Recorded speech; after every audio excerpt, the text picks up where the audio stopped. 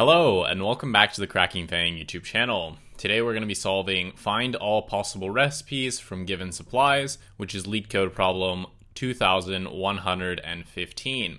Before we get into the question, you guys keep requesting these Google questions, but you're not subscribing and you're not liking the video. So do that right now or the videos will stop. All right. Intimidation aside, let's now read the question prompt. You have information about n different recipes. You are given a string array recipes and a 2D string array ingredients. The ith recipe has the name recipes of i, and you can create it if you have all the needed ingredients from ingredients of i. Ingredients to a recipe may need to be created from other recipes, i.e., ingredients of i may contain a string that is in recipes. You are also given a string array supplies containing all of the ingredients that you initially have, and you have an infinite supply of all of them. Return a list of all the recipes that you can create, and you may return the answer in any order. Note that two recipes may contain each other in their ingredients. Okay, so we read the question prompt. Now let's look at a quick example and figure out how we want to solve this problem. Okay, let's think about this example here. So we're given the recipes and we have bread, sandwich, and burger. And to make bread, we need yeast and flour. To make a sandwich, we need bread and meat. And to make a burger, we need a sandwich, meat, and bread. And we know that our original supplies are yeast, flour, and meat. So let's look at this, right? Can we make a sandwich? Well, we have meat, but we don't have bread in our supplies. Same thing happens with, um, you know, a burger. We don't have a sandwich, and we don't have bread, and we don't, but we do have meat. But can we make bread? Hmm, let's see. So to make bread, we need yeast and flour, which we have. So we know that we can make bread. And to make a sandwich, we need to make bread and meat. And we know that we can make bread because we have yeast and flour. Therefore, um, you know, we can kind of think of this as like a sandwich requires meat, which we have. And then we need bread, uh, which requires, you know, flour and yeast, right? Which we also have. So we can actually build this and we're good to go. And also for the burger, we can think about its dependency chain. So to make a burger, we need what? We need a sandwich. So sandwich. Uh, we're gonna need meat, which we have, so we're good to go there, and bread, right? So we can kind of like build this dependency tree again. So to make a sandwich, what do we need? We need yeast and flour, and all right, and to make bread, we also um, need yeast and oh, and then we need meat. Sorry, uh, sandwich is bread. Sorry, it's it's not yeast and flour. It's bread and meat. So this should be bread and meat. And then to make bread, we need what? We need uh, yeast and flour, right? So yeast and flour, which we have, so we can make the bread, which can make the you know the sandwich, and since we can make all three ingredients, we can make the burger. So if this is starting to look like some sort of graph to you that we need to traverse, well, then you're very clever. Collect your uh, points at the door because that's essentially what it is, right? We're starting from some higher level uh, recipe and we're basically trying to break it down to see one, uh, is the ingredient simple enough that we have it in our supplies? Or if it's a complex uh, ingredient that's you know actually a recipe can we make it given the ingredients that we have so for example with the sandwich and the bread right these are actually recipes but we can make them because we have the bread and the meat and we have the yeast and the flour so that's the general gist of what we want to do. We kind of have an idea here that, um, you know, we're going to have to build a graph here, right? Build a graph and somehow traverse it. So let me try to erase this stuff here. So what we want to do is we want to build um, some graphs here and we're going to traverse them to find our answers. So the first graph that we want to do is to actually map ingredients. So we'll just, I guess they call them supplies here. So for each supply, we're going to map it to all of the recipes um, that require this, um, this supply, right? So that's going to be our first graph. Our second graph is simply going to be counting uh, you know, the in degrees of a current uh, recipe. So basically, how many ingredients does a recipe need, right? So we will map uh, recipe, recipe uh, maps to the number of ingredients.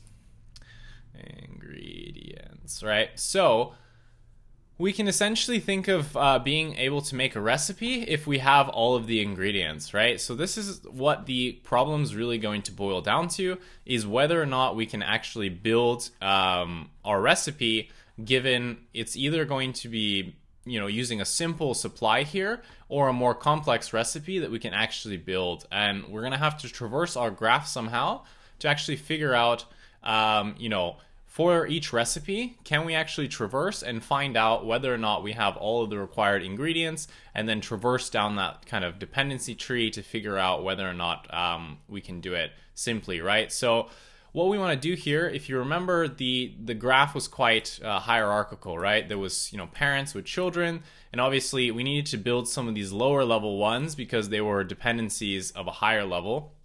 And for this, um, we're actually going to use topological sort because you always visit the children before you visit the actual parent. Uh, therefore, we would find out whether or not we can actually build these, uh, you know, lower level things before we get to the higher level point. So if that's uh, at all confusing, don't worry. You don't really even have to know what topological sort is. It's not really that necessary. I'll just show you the code, walk you through it line by line, and hopefully it should make a lot more sense. I think this is a little bit trickier of a topological sort problem. I think course schedule and alien dictionary are a little bit more straightforward. This one, it's a bit harder to see how it works, but doesn't matter. Enough talking. Let's go to the code editor and actually type this up because looking at the code is always simpler. Test, test. Okay, we're back in the code editor. Let's type this up. So I told you that we want to define two graphs here. And the first one is going to be mapping uh, each supply to the possible recipes that they're used in. So let's define that graph. So we're going to say graph um, is just going to be default dict. And obviously we're mapping uh, a supply to a list of things we can make. So it should be a default dict where the default key is a list. Now we also need to track the number of um, you know ingredients for a given recipe. So we're gonna need a little dictionary for that. So let's just call this indegree. Uh, and basically, this is the amount of you know edges going into um, a given um, recipe uh, in terms of the ingredients we need. So we're just going to have a simple default dictionary here. Uh, and since we're just counting how many uh, ingredients there are, it's just going to be an integer here. So now what we want to do is actually build out our graph here. So we're going to say for recipe, um, ingredient, actually they call them supplies. Uh, supply, oh no, they're ingredients. Sorry, ingredient, ingredient in so we're going to zip these two together because we know that the zeroth index is the, the you know one recipe and then the zeroth index in, in ingredients represents the ingredients for that recipe. So we're going to zip these two together. Uh, if you don't have zip obviously this is a python function. You can just use it with a simple um, for loop and then just use the index extraction but this just makes it easier for me since we're using python here. So we're going to zip together the recipes and the ingredients and what we're going to do now is we're going to say in degree for the given recipe. Uh, we're going to set that equal to the length of the ingredients. So basically, we're just counting um, how many ingredients we have here for that given recipe. And now what we need to do is we basically just need to, for each ingredient, remember we're mapping all of the recipes that it can possibly be used in. So we're going to say for um, I guess we'll call it ing in ingredient. Uh, I guess these namings aren't the best because this is plural, but technically this is also plural. Uh, so that I don't know, this problem is weird. Anyway, uh, so for ingredient uh, in ingredient, yeah, that sounds horrible. Uh, we basically just want to say graph. Uh, for that ingredient, we're going to append to it the recipe that we can actually make here. So that's going to build out our uh, graph here and our in degree kind of mapping here. Now what we need to do is actually just process, um, you know, our graph here and actually do the traversal to figure out which recipes we can make. Obviously, we need to return a list here, so let's define that data structure for the answer. So we'll say ands is just going to be an empty list, and we're going to create a queue. We're just going to traverse uh, using breadth first search. Uh, so we're going to make a queue here and we're going to pass in a deque and we're just going to pass in the supplies because uh, we want to basically iterate over all the supplies and see whether or not we can make the recipes.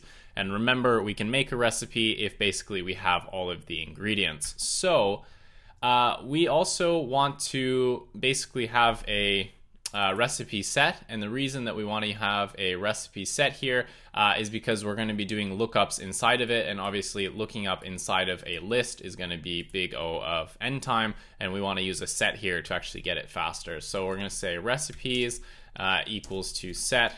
Uh, recipes, so pretty simple there. Now we need to actually do the uh, traversal. So we're going to say while q. Uh, what we're going to do is we're going to basically get our supply. So supply equals to q dot pop left. And now what we're going to do is we're going to say if this supply is actually a recipe. So for example, you know, we could have a supply like bread, but bread is a recipe to make a burger. Uh, we, or, you know, that we could actually make it, right? So if if a given supply is all we need to actually make a recipe, um, then we're okay. And remember, supply um, doesn't just have to be our original supplies. We'll actually be appending to this as we build recipes, so we have access to them uh, later on. So if a given supply is actually a recipe, so if we've somehow made bread and bread is one of the things that we need to make, then we can actually add that to our solution because we can make bread, right? We could, you know, through our traversal, uh, figure out that we have yeast and flour, therefore we can make bread. And if bread is one of the recipes that we want to make, then we want to add that we can make bread to our solution. So, uh, sorry, this shouldn't be a for loop. We want to say if the current supply is actually in recipes, and now you can see why we use the set, so we can do that quick lookup. Uh, then obviously that is an answer. So we're going to say answer.append that given supply. Uh, okay, so now what we want to do is we want to go through all of the possible recipes that we can make with this given supply. So we're going to say for recipe in graph of supply, because remember we're mapping supply to all of the recipes that you can make with that supply. So we're going to say, okay, for that, uh, you know, recipe, remember that the in degree uh, basically tracks how many ingredients are needed. So now that we see that um, we have the supply here, what we can do is we can say in degree for that given recipe, we can actually decrement it by one because we know that we now have one of the supplies necessary. So we can essentially um, just, you know, get rid of, uh, you know, one of the in degrees because we have that supply. So what we want to do now is we essentially want to say if the in degree of our given recipe actually equals zero, that means that we have all the recipes available to us because every time we hit one of the supplies that we could use for that recipe, then we essentially decremented the count.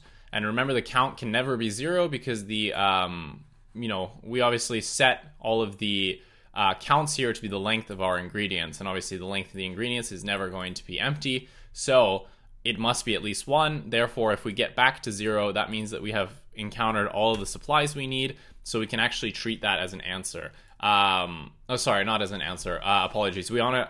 We've we've now built uh, some new thing, right? So if we have a recipe for bread and it says, okay, we need flour and yeast. Um, if you know in degree for that recipe is zero, that means that we have both flour and yeast. Therefore, we can now add bread back to our queue and use it later on, right? Because bread, like we know, is actually a recipe to make a sandwich, right? You need bread and then meat.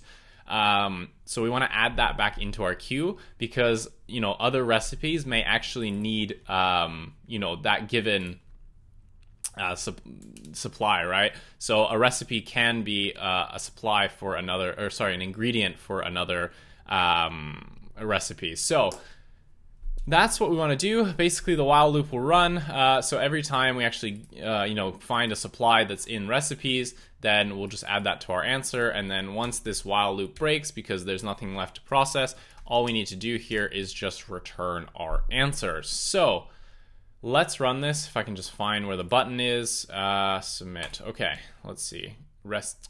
Oh, great. Did I? Apparently, I cannot spell which is not good because English is my first language. Okay, maybe I should run this. Okay. Yeah. Okay. So my bad, guys. Um, can I spell today?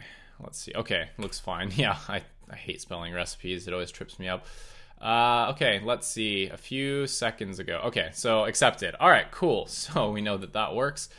Um, so what is our time and space complexity? So if you don't already know, all um, topological sorts, which is what we essentially did here, are going to have a time complexity of big O of V plus E, where V is the number of vertices in our graph, so basically distinct nodes, and then E is basically the number of uh, connections between them. So that is the, to- uh, the total time complexity. And for the space complexity, it's actually the exact same thing where we have big O of V plus E because we have to store um, the graph and all that information inside of the graph, right? So it's going to depend on, you know, essentially, uh, let's see, how many ingredients we have and how many recipes. So, like in this case, you know, you can think about that um, as kind of the, the V and E here. So that's going to be your time and space complexity this is a bit of a weird question. Uh, it definitely took me a little bit to kind of understand how it works, but conceptually, I don't think it's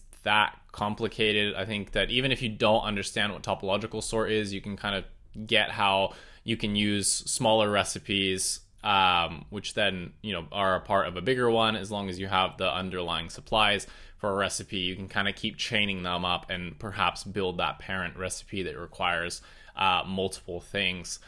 So that is how you find uh, solve find all possible recipes from the given supplies. Hopefully you enjoyed this video. Uh, I know these Google ones are highly requested. They are very annoying to make because they love to pick quite difficult questions and they're uh, just annoying to figure out and code up and explain well. But we managed to get through this one, I think, without too much pain. If you enjoy the video, please leave a like and a comment, as I told you to do in the beginning, because you guys always want these Google questions, but you don't subscribe to the channel. Uh, so stop freeloading, subscribe to the channel, like the video, leave a comment. It really helps me with the YouTube algorithm and helps the channel grow. Otherwise, I will stop lecturing you guys and have a great rest of your day. Bye.